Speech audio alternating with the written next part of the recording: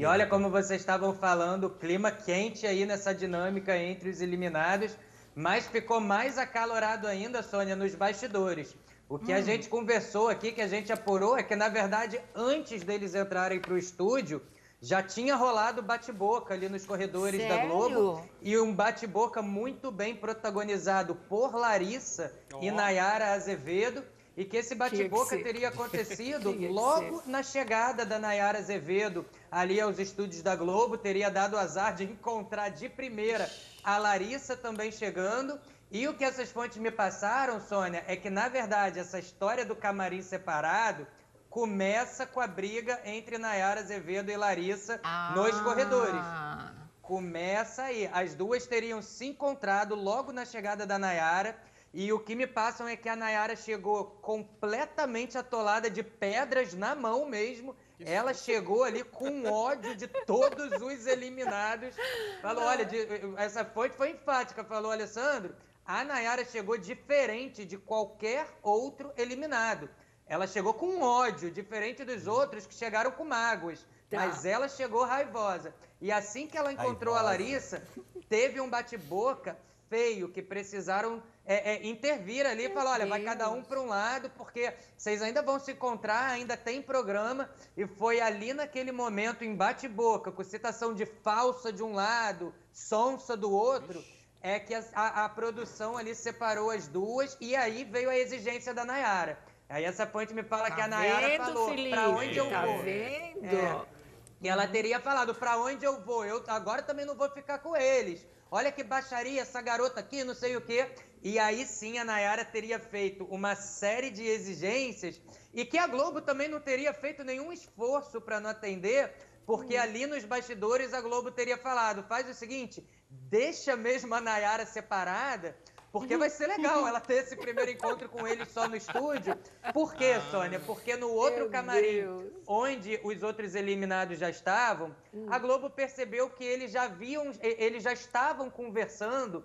Inclusive, isso foi um pouco prejudicial, porque ali, Rodrigo, muitos outros participantes, Bárbara, Tudo eles tiveram amiguinho. conversas no camarim que se resolveram ali no camarim, e aqueles embates conversados ali no camarim nem foram levados para o ar. Então a Globo falou, deixa a Nayara mesmo isolada, porque ela vai levar tudo pro ar.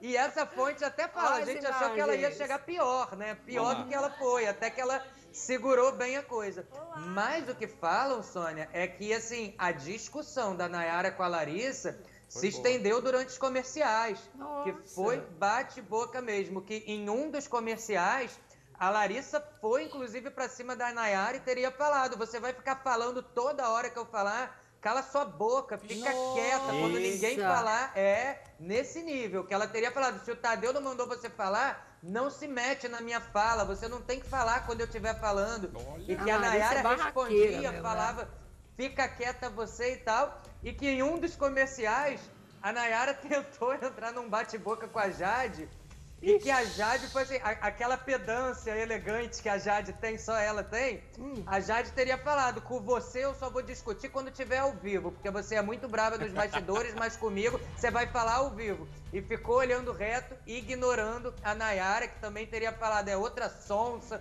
metida. Olha que o clima pesou, Sônia. o clima esquentou. Tadeu Schmidt uhum. ficou numa situação, Sônia, que, que essa fonte me fala que o Tadeu só falava o seguinte: gente Segura para ao vivo, segura para ao vivo. Calma, gente, segura para ao vivo. Mas em que pese toda essa discussão, um ponto forte que me contaram também desses bastidores, Sônia, foi a frustração da Nayara e da Jade quando souberam de fato que não haveria possibilidade de repescagem. Eu até ah, conversando ah, com essa fonte. esperando isso mesmo? Elas estavam, Sônia. Eu até ah, conversando com essa fonte, perguntei. Foi real isso delas terem ido para lá sem saber absolutamente nada na dinâmica até o início do programa? Uhum. E eles falaram que sim, sim e que sim. a Jade, nos bastidores, não escondeu a frustração, que ela ficou chateada no sentido achando a Globo não vai fazer repescagem, não vão abrir essa possibilidade e querem beliscar a minha audiência, sabe? Ah, que ela ficou numa Deus. postura assim uhum. que a uhum. produção achou toda que foi terrível a atitude. É, depois e que a Nayara também ficou decepcionada. Uhum. Ela fez o quê? A Nayara, inclusive, fez... falou, né? Hum algumas frases, é, vocês não sabem o prazer que é hum. voltar. A Nayara acreditava mesmo a Nayara que uma repescagem colocou, pudesse acontecer. Se colocou em cena de novela, não é?